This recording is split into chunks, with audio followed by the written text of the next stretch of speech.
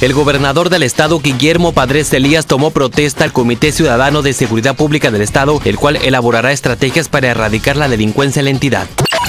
Le agradezco a quienes el día de hoy toman la decisión y forman parte del primer Comité Ciudadano de Seguridad Pública en el Estado. José Coppel, a Juan Carlos Solís, a Juan Pum, Jesús Gámez, Hermano Carvajal, a Jorge Cons,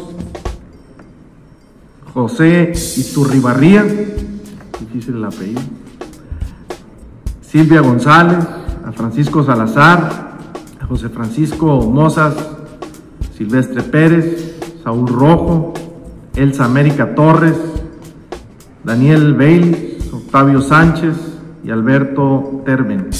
A todos ustedes les agradezco. Les agradezco porque el que estemos el día de hoy punto de tomarle protesta a este comité es un gran logro que viene de la sociedad. Yo recuerdo desde hace muchos años que la misma sociedad y empresarios y ciudadanos interesados en el tema de seguridad empezaban a construir este modelo ciudadano en el que nos permita a todos participar y defender lo más preciado que tenemos los mexicanos, los sonorenses y los ciudadanos, que es la seguridad pública, que es la seguridad de nuestra familia, que es la seguridad de nuestras ciudades y nuestro país.